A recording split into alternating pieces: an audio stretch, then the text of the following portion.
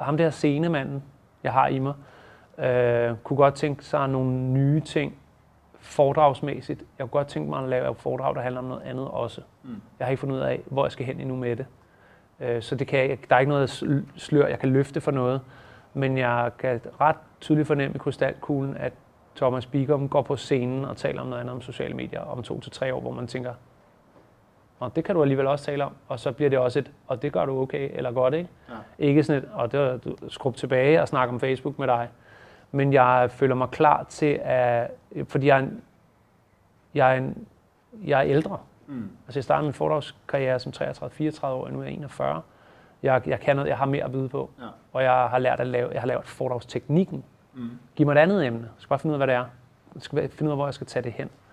Så det skal jeg selv, det er sådan en, en, en lille rejse, jeg har parallelt.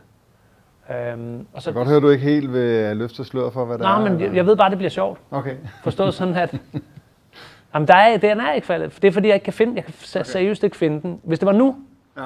så, var det, så var det sjovt. Det vil sige, det var comedy-baseret nok. Ja. Og det var, det, det, det var et eller andet, jeg skal finde ud af, hvor publikum vil have den. Men, men hjernemassen kan lave et foredrag om hjerner, og det er sjovt, og det er klokken 20, og det er i cirkusbygningen. Eller mm. fanden, det er nok ja. et for stort video. Men ja. der, der kan jeg, kunne jeg godt tænke mig at komme hen. Okay. Jeg ser bare ikke, at jeg tager Facebook derhen. Fordi om to år er Facebook noget andet, og jeg vil være lidt træt på den. Men jeg har øh, oparbejdet en evne til at kunne mestre en scene. Øh, jeg ydmyghed sagt, men jeg har et skills i hvert fald. Ikke?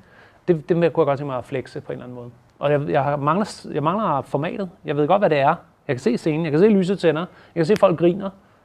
Jeg ved bare ikke, hvad jeg siger. Okay. Det er ikke sikkert, den kommer, og det er så det spændende ved den tur. Men øh, der er et eller andet i krystalkuglen der.